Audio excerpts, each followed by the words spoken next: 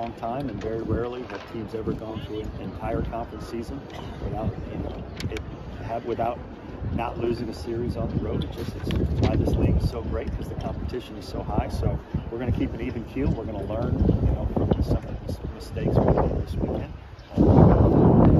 Obviously, no shame in losing a series to Vanderbilt, given their caliber, but probably don't feel as good about it with a lot of self-inflicted wounds and walks today, another error, big error. Um, how, how, do you approach that? Does that change how you how you feel at all about what's going on here lately? I mean, we're 30 and six. Uh, not, gonna, not going to panic. We're not going to uh, change anything about how we feel about our team. Should we have played better this, this weekend on defense? Absolutely, we should. I thought that was the difference in the series. Is they they played very athletic, clean defense all weekend, and we did not. And so you know, that's something we have to continue to to work on and, and evaluate.